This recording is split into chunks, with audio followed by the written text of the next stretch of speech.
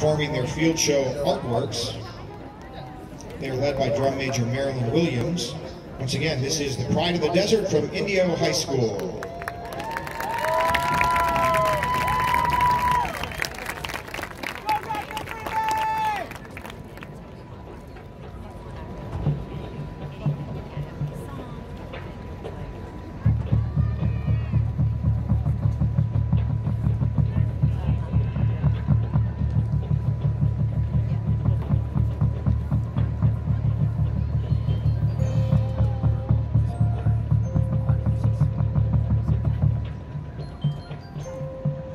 individuals seeking